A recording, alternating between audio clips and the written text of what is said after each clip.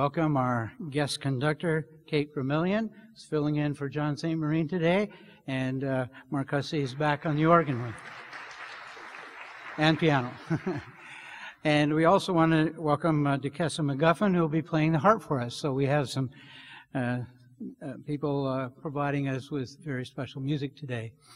Welcome to Vallejo Drive Church today, and uh, we uh, trust that you will leave this place today having been blessed by God. Uh, just a couple items that we want to take note of. This time of year is important for us in planning ahead for the next school year for students at Glendale Adventist Academy and Elementary.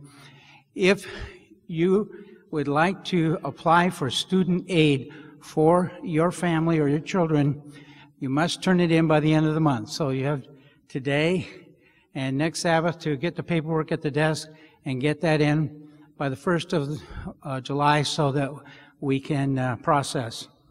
But what is also important is that the decisions for student aid, the amount of money that we have to offer is determined by what we have available by the end of this month.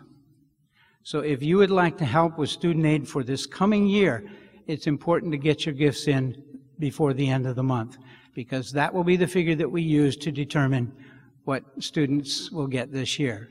We appreciate your support. It's been very good. In fact, at this point, we're, we're we have a, some a good amount of funds, but we can always use more.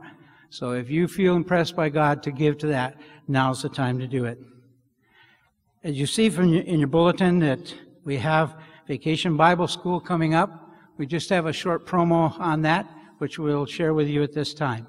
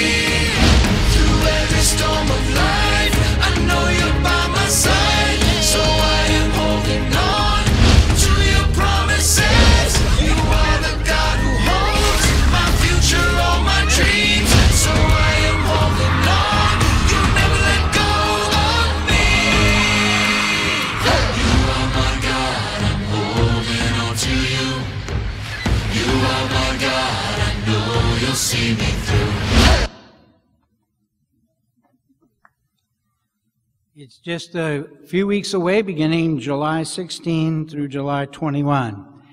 Boys and girls, it's time for our children's story. So if you would come forward at this time, and if all the rest of you would just simply uh, stand up, reach out, and welcome each other to church.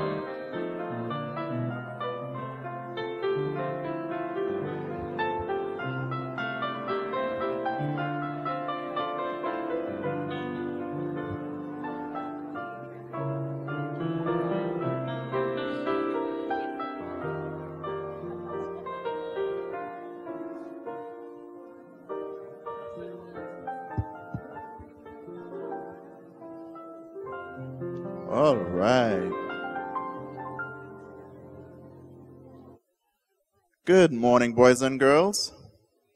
Uh, uh, uh, uh. Good morning, boys and girls. Let's try it one more time.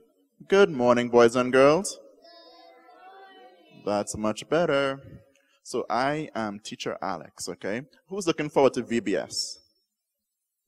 I know that video made me really excited for VBS. So this morning I'm going to tell you a story about a little girl named Antoinette and a little duckling. So one evening, Antoinette was outside in her yard. She and her brother Anton were playing. And all of a sudden, they heard a noise. Quack, quack, quack, quack. They stopped and they listened. Then they heard a noise again. Quack, quack, quack, quack. So they went over to investigate. And when they looked behind the bushes, sure enough, there was a duck. And it wasn't just a duck, it was a little duck. It was a duckling. And the duckling was all by itself. And Antoinette and Anton knew a duckling should be with its mommy. So they decided to look around to see if they could find the duckling's mommy. But it was getting dark, so they went inside to tell daddy what was going on. So daddy said, let's do this. Let's take a box, put it on a patio, make it nice and warm with some blankets and some towels and leave some food for the duckling. And tomorrow we will we will go and try to find the duckling's family, find the duckling's mommy. So they did all of that and then they went to bed.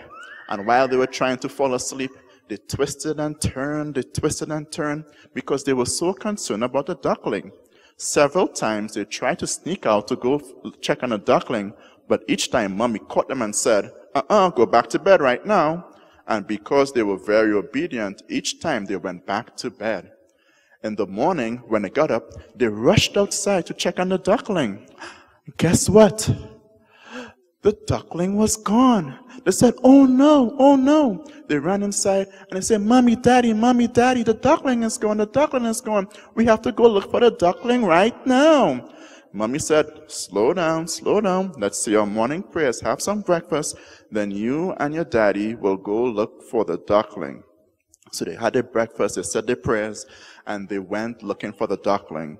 First, they looked around the house, then they went up the hill by some trees, then they went down to the pond.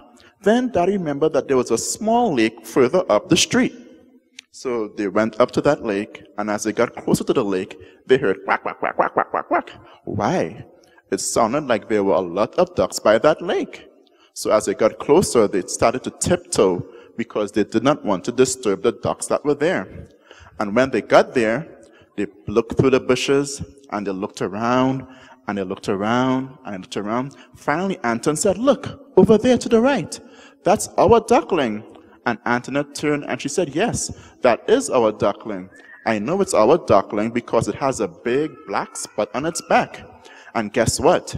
The duckling was with its mommy and a daddy and several other little ducklings. The duckling wasn't only safe, the duckling was with his mommy, his daddy, and with all his brothers and sisters.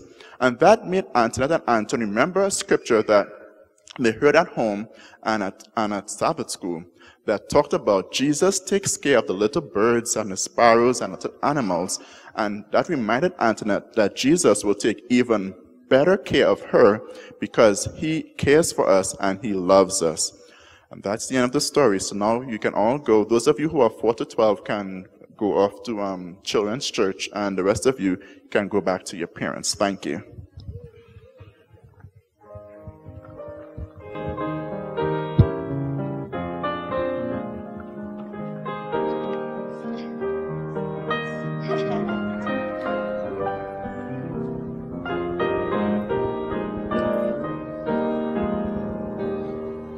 The deacons may now come forward.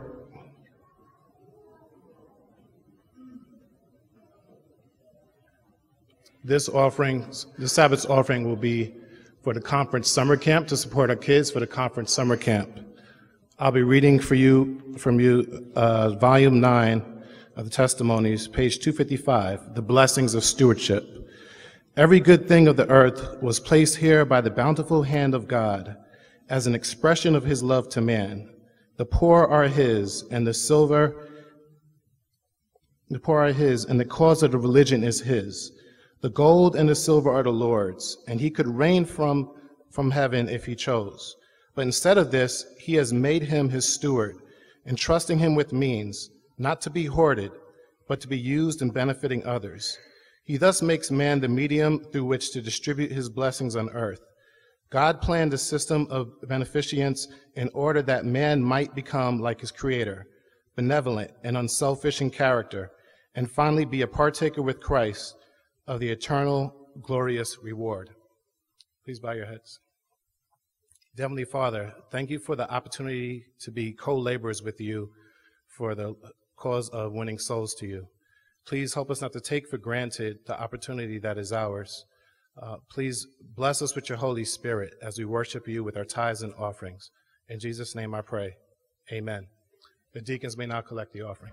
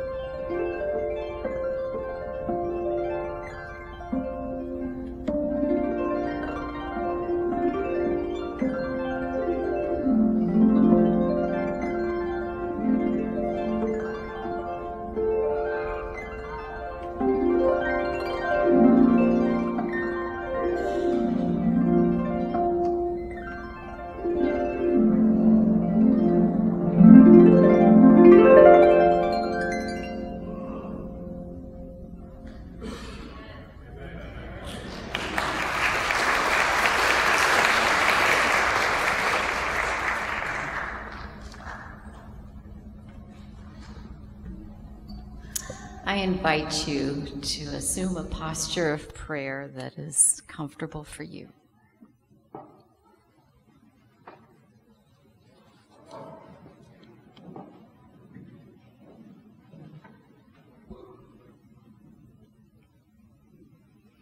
Our loving Lord, divine parent, truest and most faithful BFF. Lord, you love us with the dawn chorus of birds and with vibrant flowers. Your love is in the intense sun and subtle morning mist, in the baby's coo and in the elder's advice, in richly rewarding conversations with friends and smiles from strangers, in the inner aha moments and in the disconcerting doubts. You are there when we feel you and when we cry, Why have you forsaken me? Lord, thank you for your unfathomable love. The glimpses of it we catch make us imperfectly love you. Lord, we also see you as our divine parent, a parent who knows us better than we know ourselves and nurtures our development in ways that are for our ultimate good. Thank you. And you are our very best friend forever. How can we really trust someone if we don't know them? And yet, Lord, we often avoid getting to know you. Consequently, we are often poor trusters. Forgive us. We do want to let your will unfold in our lives. We do want to be your loyal, faithful friend forever. Lord, life is scary when we let ourselves think about it. We see so much suffering, insecurity, depression, illness, loneliness, often as consequences of sins like greed and self centeredness. We lift up the victims to you, the seriously and chronically ill, the homeless and malnourished, the emotionally and physically abused, the children removed from their parents, those for whom life is unsafe and that includes some of us Vallejo Drive church members. Oh Lord, a special blessing upon us. We also lift up to you, though, the perpetrators of this world. You advised us to pray for our enemies. You know it does our souls good. It isn't easy, though. But we pray for those who are violent, for those who are narcissistic, angry, and self righteous, including us. As you will, please soften their hearts and our hearts towards the evidences of your love. Lord, blessed be our ties here at Vallejo Drive this morning. May your spirit rove in our midst now. We ask you to grace our new pastor, Kyle, with wisdom to know how to serve you here. May we all trust and obey. Thank you for loving and answering. Amen.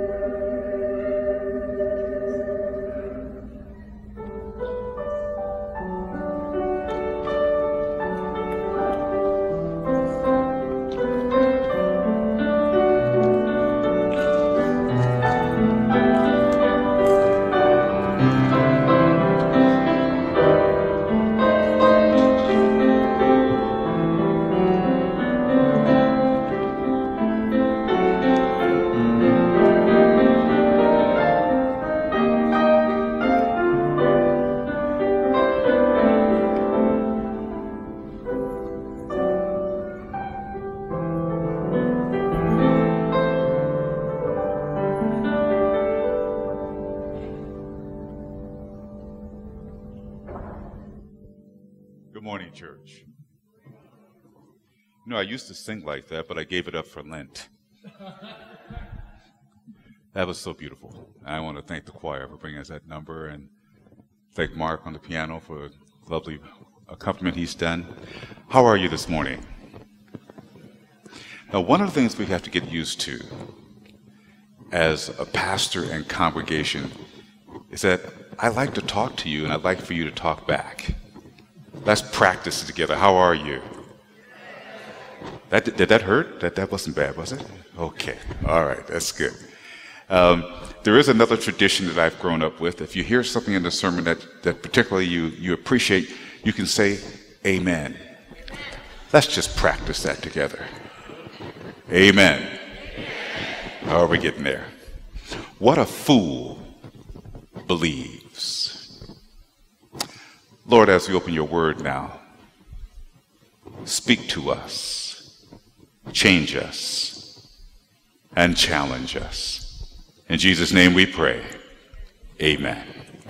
If you could turn the gain down just a bit on my mic, that'd be helpful. One of the greatest mysteries that we see in life today is how the brain actually works. Scientists tell us that we only use about 10% of our brain's capacity. And on the freeway this morning, I'm now convinced that we probably use a lot less than 10%. But what's more of interest to me is how the world views a faithful believer, you and I. You see, if you believe in the literal promises of God, if you believe that Jesus is the Son of God, that he was born and, and died on the cross and rose on the third day and will come again soon to this earth, the world will consider you naive stupid, and perhaps a misguided fool. But it gets worse. Recently, a research study appeared in the journal Neuropsychologia. And this research study purported that religious fundamentalism is in part the result of functional impairment in the brain region known as the prefrontal cortex. When I went to this journal uh, over this week, there are now dozens of articles research being done by psychologists and psychiatrists that basically suggests that there's something wrong with people who believe.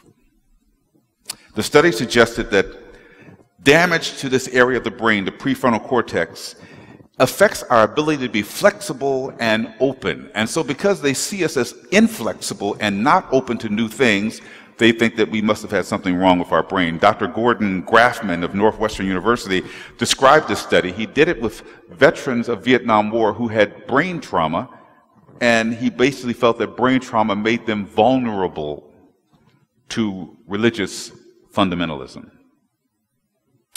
So basically, the world thinks that you got to be brain damaged to believe in the Bible. This so called science that we see in articles like this kind of helps people in the world come to the conclusion that we are just plain brain damaged fools. So, what does the Bible tell us? Let's look at our scripture reading for today. Now, one habit I want to make sure everybody develops is to bring your Bible to church. Because I'm old school. What happens if the, if the screen fails? What will you do? You'll be just forlorn, lost. You'll be in tears. But if you bring your Bibles with you, the IC Bibles, hold your Bibles up. Let's just try that. Amen. Hold your phones up. Okay.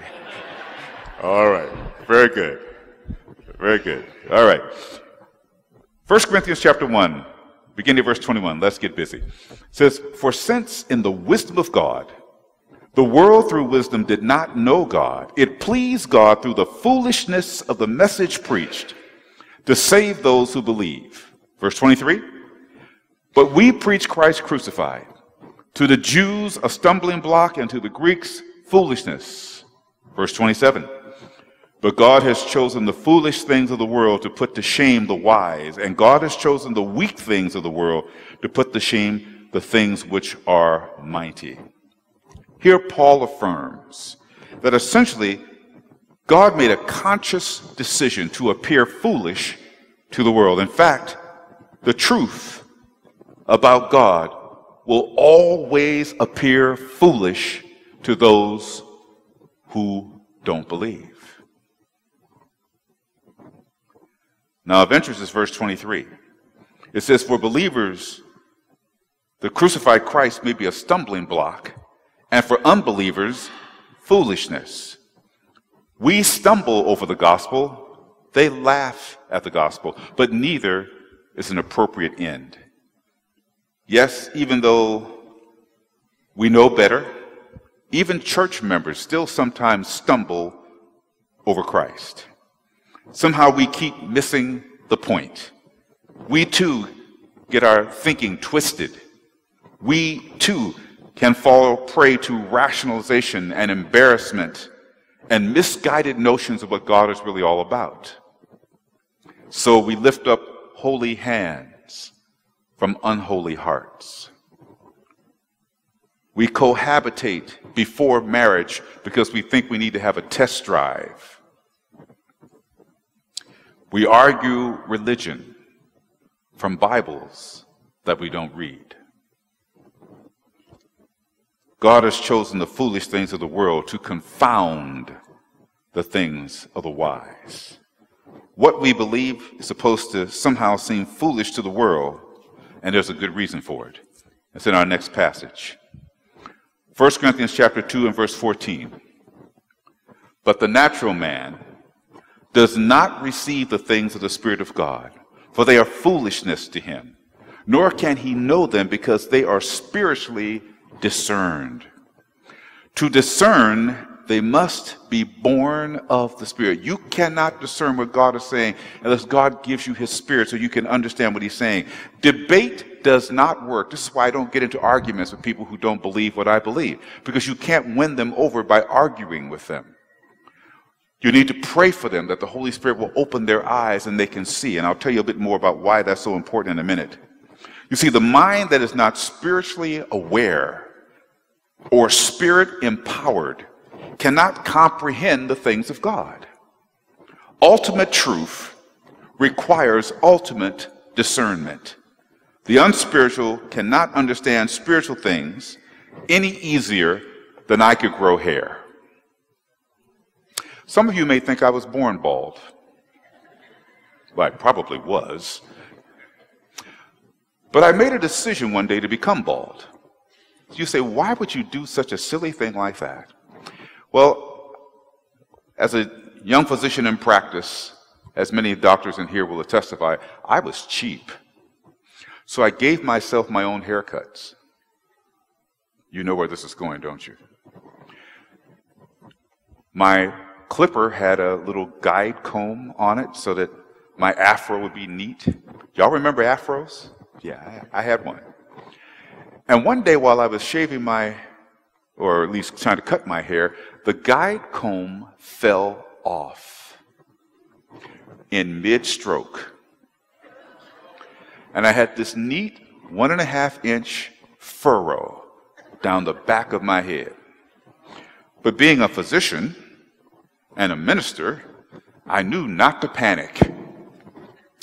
So I just put the lowest comb on the clipper and I thought I would just shave it all down close. This is a cut that back when I was a child, they used to call a quo vadis. It came out of a movie that was called by the same title. And you saw a lot of African American men wearing their hair very close to their heads. It was the vadis style. I thought I'd get a quo vadis. Only to discover that underneath my afro, there was an ugly balding process that had already begun in spots. But I was brave. I went to my office. My assistants came out, saw me, and when they were resuscitated from laughing, they told me, you, you need to go back home. Don't even come into this office looking like you're looking today. So that night, my wife was out of town. I shaved my head for the first time. She came back in and thought, you know, I'd been on chemo or something over the day. Um, and there I was, a bald guy. But I had the best of hopes to grow it back once I took a vacation. But then I got a job in television. Bald. The job lasted three and a half years. So I had to stay bald. By that time, I actually got comfortable being bald. And so that's why I am. So my, my chances of growing hair are not great, but anybody without the Spirit, their chances of understanding what God's Word is saying is also not great. We all need the Spirit of God to understand what God is trying to tell us. So, what's really going on with the world? You may have noticed that the world seems a little crazy, that people don't seem to have any civility any longer, that the whole place seems like it's messed up. Well, I'm going to tell you something, and I'm going to read it to you first. I'll read you the first sentence and I'll put it up on the screen.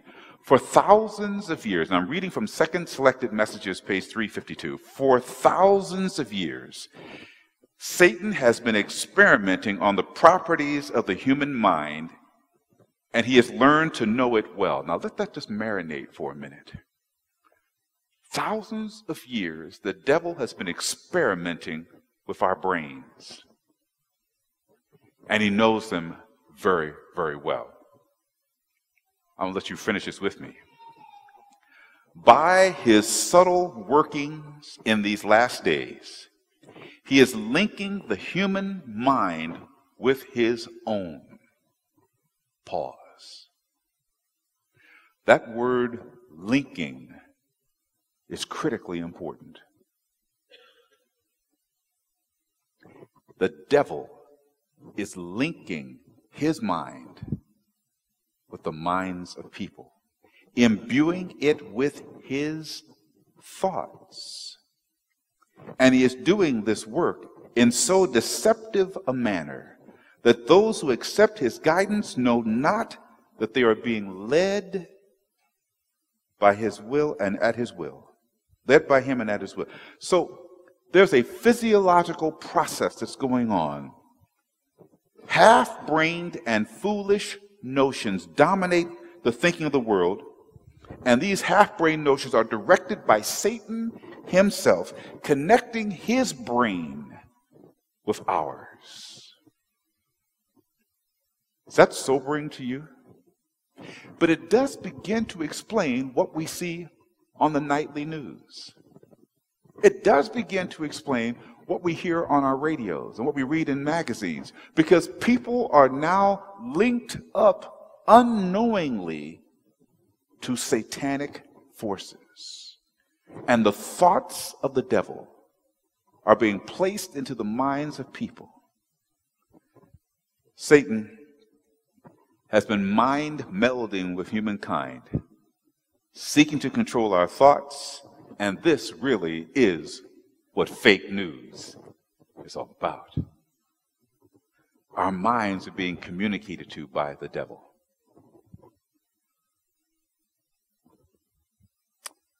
The world, you see, is deceived. And that's what we're dealing with is deception. So when you try to have a conversation at work or a conversation um, at your gym or any place you go with people about what it is you believe, the reason they have such a hard time understanding some of where you're coming from is because they've been simply deceived and their brain has been linked up with the demonic forces of evil. So let's just figure out for a minute just what does a fool believe? I'll give you a short list. First of all, a fool believes that there is no God. Came straight out of Scripture. A fool has said in his heart, there is no God. So, the first group of fools that you're going to meet on the world are people who don't even believe that there is a God. Secondly, fools believe that science trumps revelation. Fools also believe that they have time on their side. You ever heard people say, oh, I got plenty of time. I don't have to do anything about my life, my spirit, because I got time. I'm young. I had time. I've lost quite a bit of it now, along with my hair. But sometimes the young people think they have all the time they need. Fools think that the coming of Jesus has been delayed so long that it now has become irrelevant. And there are people in the church who no longer think that it's relevant for us to talk about the second coming of Jesus because it's been delayed. And so they think, well, it's not going to happen in my lifetime. It won't happen in your lifetime. So why are you preaching it? A fool also believes that the church has so many hypocrites in it that the noble thing to do is to withdraw from worship so that you're not contaminated by hypocrites. By the way, what is a hypocrite? A hypocrite is somebody who says one thing and does another, who has high and lofty intentions, but their lives actually fall below what it is they say. You should know that we all are hypocrites. I know that came as a shock. Because none of us are able to accomplish what it is we say. We all are human. The best place for a hypocrite to be is among friends, in church. This is where hypocrites receive spiritual care. This is where we grow. This is where we overcome. This is where we find the strength to actually make our lives come to harmony with what we say and what God has called us to do. But I'm not, I'm not concerned about hip, hypocrisy. Were it not for hypocrisy, we wouldn't have a church membership. Because God is working on us. Fools also believe, which is very interesting, that Jesus can't be the only way. They look at all the religions in the world, Buddha, they read the Bhagavad Gita, they look at Muhammad, they say, how can Jesus be the only way? So a fool believes that that can't be true. When Jesus makes it very clear, he says, I am the way, the truth, and the light. He didn't say, I am a way. He said, I am the way. A fool also believes that personal opinions are more important than Scripture. Perhaps the most deadly words to be spoken by church members is, I know the Bible says so and so, but I think. Did it ever occur to you that God may not be impressed with what you think? I'm just asking the question. I'm just saying. That God may actually be more impressed with those who do what he said do, rather than form their own opinions about what they will or will not do. 2 Corinthians chapter 4, verse 3 and 4. But even if our gospel is veiled, and by the way, to, to, the, to the lost, it is veiled. Even if our gospel is veiled, it is veiled to those who are perishing whose minds the God of this age has blinded, who do not believe, lest the light of the gospel of the glory of Christ, who is in the image of God, should shine on them. So we're dealing with people whose minds have been blinded, whose eyes have been blinded by the devil himself. That's why they can't see the truth of the word. The good news, after all this bad news, is that there is an antidote to mind melding activities of the devil. There is a solution. Here's the antidote. Let this mind be in you, which was in Christ Jesus. Philippians 2 5. And 1 Corinthians 2 16. We have the mind of Christ. We need the mind of Jesus, and he desires to imbue our thoughts with his thoughts. So he's directly counteracting what the devil is trying to do. Jesus wants to put his thoughts into our minds. He speaks to our minds primarily through his word. That sometimes we find a hard time opening up and reading. Romans chapter 12, verse 2 says, And do not be conformed to this world but be transformed by the renewing of your mind, that you may prove what is good and acceptable in the perfect will of God. We need to have our minds renewed. Because if our minds are renewed, we can finally come to the place where we can prove for ourselves, not necessarily others, prove for ourselves what is the will of God. And then there's the issue of our thoughts. Messages to Young People, page 76. You are responsible to God for your thoughts. Just sitting around letting your mind run in idle You're still responsible for everything you think. In fact, Jesus made it very clear that people may look at a woman and lust after her just as, and that's just as bad as actually having a relationship outside of your, your marriage. So your thoughts are going to be judged by God. And we're responsible for those thoughts. So an unrenewed mind is just too carnal to grasp the truth and too weak to defend oneself against deception. But a renewed mind is capable of proving the perfect will of God. So this is a binary choice. Who is controlling your thought? It's either the Lord or it's the devil. There is no third option. And you will have to decide who you're going to allow to control your mind. 2 Corinthians chapter 5 and verse 7. Very familiar passage to us all. We walk by faith and not by sight. Ladies and gentlemen, we have now embarked on what is called the sightless walk. It is the most difficult to defend and sometimes the most difficult to maintain. This walk with God where we can't see exactly what's going on. So let me give you an example of what I mean by how difficult this could be. So you serve an unseen God, doing battle against an invisible devil, looking forward to a heavenly city with a Jesus who allegedly rose from the dead, living in a nation that you prophesy from your scriptures is going to speak like a dragon and persecute every one of us one day, going to a church on the wrong day of the week, and you don't dance, you don't drink, and you don't fornicate. What could go wrong? Why would anybody think that you're not a fool? Because that's what we believe. And that's why people look at us and say, this is foolish.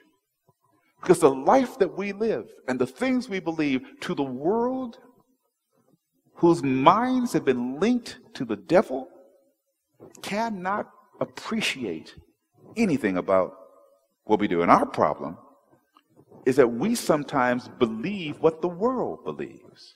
And we begin to look at ourselves as foolish. And so you begin to believe that you're wiser than the average bear because you don't fall for all of the stuff that we believe. And so you begin to pick and choose. Yeah, I, I accept the Sabbath, but the Sabbath is not the only day I can worship. And God doesn't really require that I come to church every week. Or you begin to, to make decisions about what you eat, or what you wear, or what you listen to, or what you read, because you're wiser than what the Word says. And then we find ourselves going down this slippery slope that the Bible calls foolishness. Christ will never remove all reason for doubt.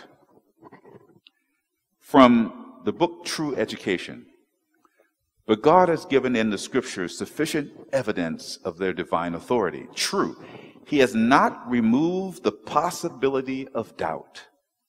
Faith must rest upon evidence, not demonstration. Those who wish to doubt have opportunity, but those who desire to know the truth find ample ground for faith. Faith must rest upon the evidence. And then Paul adds to this in Hebrews chapter 11, verse 1. It says, Now faith is the substance of things hoped for, the evidence of things not seen. Essentially, the, re- the renewed mind trusts in the evidence of faith. Faith becomes my evidence. And because I trust God, no matter what the world says, no matter what my eyes even may see, I still trust what God says. We recognize there are things coming before us, satanically devised, that will deceive you. What will you do when your grandmother suddenly appears, who's been dead for 50 years, and begins to talk to you? Will your eyes believe what your faith tells you is not true? Because the devil is going to try to deceive us. Without the miracle of grace, the world will remain imprisoned by this mind melding activity of the devil. So, it's time for saints to wise up. That's you and that's I. We have to wise up. We can't afford to be foolish. Now, I'm not afraid of being called a fool because I've read some things in Scripture that make me feel pretty comfortable about it. You know, the three Hebrew boys who were thrown into the fiery furnace were probably thought to be pretty foolish. You've heard that story. When, the, when everyone was asked to bow down to the golden image, Shadrach, Meshach, and Abednego, I suspect, were not the only Israelites in the crowd. But all the wise folk bowed down. Can't you see a couple of the Israelites trying to communicate with Shadrach, Meshach, and Abednego? Psst, psst, get down, get down. And they were probably saying to themselves, boy, those are some fools, because they, they're about to get jacked up. They did. But they had air conditioning in the fiery furnace because they trusted in the Lord. Did I hear an amen? Lord, have mercy. Check your pulse. Daniel had to be considered foolish for praying with his window open. All Daniel had to do was close his windows. But Daniel said, I'll always keep my window open. I'm not closing my windows because you made some decree. So they take Daniel and they throw him where? In a lion's den. And what, is ha- what happens to Daniel because of his faith? He turns a hungry lion into a pillow and sleeps through the night.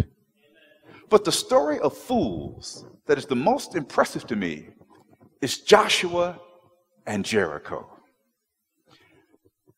Perhaps the worst, most foolish battle plan in the history of military exploits. And I'm a former soldier.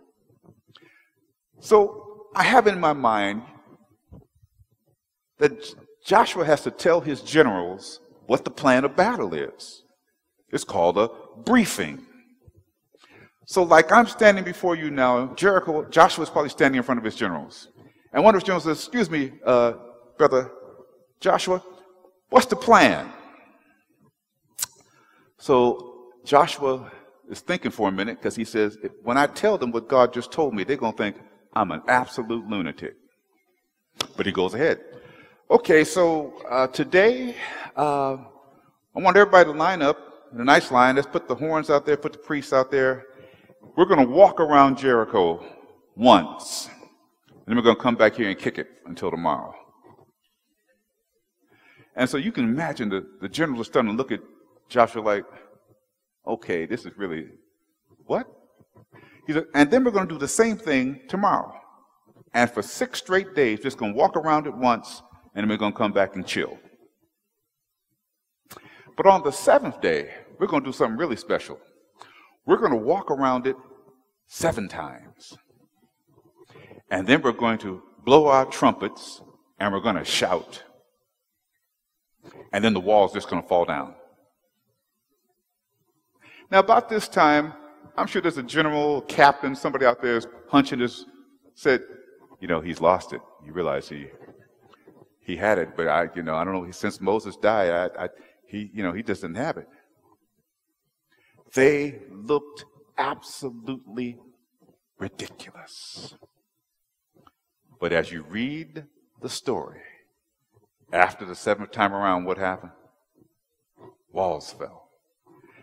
Ladies and gentlemen, through faith, the walls in your life fall. Habits crumble. Addictions melt away. If you have faith in God, you might be considered foolish by some, but you're not. Then on the cross, as Jesus was suspended in air, they began to mock him. They said, Others he saved himself he cannot save. But I hear in the background wisdom shouting out, saying, But with his stripes we are healed.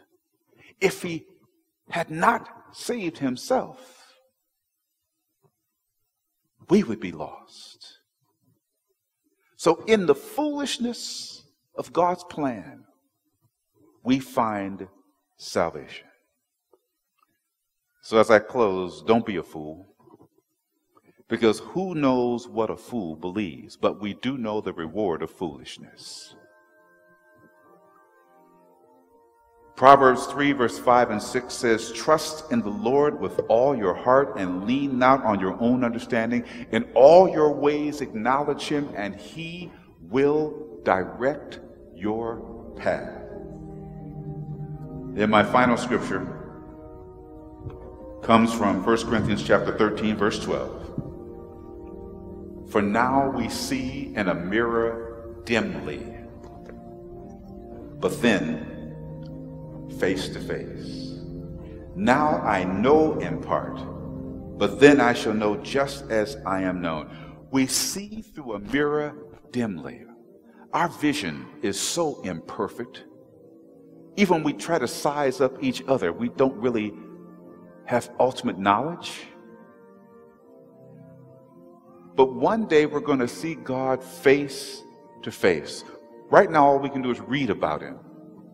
That day, we'll talk to him face to face. This sightless walk of faith will one day be rewarded. What the church needs today is mind renewal. We need renewed minds. Minds that can resist the deception, minds that are impervious to mind melding activity of the devil, minds that think the thoughts of Jesus. Bow your heads with me. There may be someone here right now who recognizes that you've been thinking foolish thoughts. You didn't know that you were being manipulated by satanic forces. But you want to ask God to do something special for your mind, special for your life. You want to be renewed. With every head bowed now and every eye closed, I want to pray for those who are seeking renewal. If that is your prayer, just raise your hand and say, Lord, renew me. Just renew me. Lord and Father, you see our hands. We seek renewal. We seek to be remade. We want to please you because we love you because you first loved us. And we don't want to be deceived and manipulated by Satan and his ideas and the world and its ideas. While we may look like fools to some, may we understand that God uses the foolishness of the world to shame the wise. May we trust. May we obey. Thank you for hearing our prayer. In the strong name of Jesus, we pray. Amen. Let's sing our closing hymn together. Face to face with Jesus. 206. Let's stand.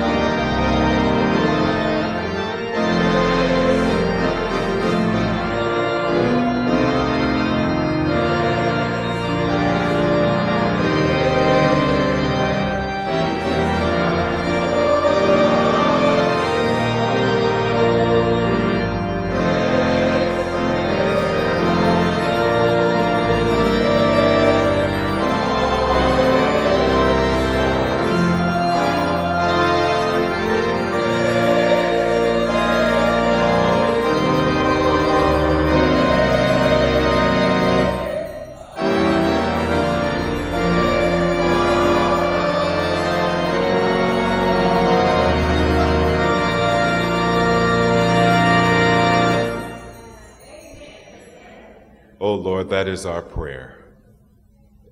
That one day we will see you face to face. Lord, help us to be ready. Remove from our lives all foolishness, all the superfluous things that we think are so important. May we rely on your word to speak to our hearts, to clear our thoughts, and to raise us up to the people you have called us to be. As we leave this place now, go with us to our respective homes. Protect us during this week. May your angels surround us. Protect our children. This is our prayer in the strong name of Jesus. Let the church say, Amen. Amen. Be seated.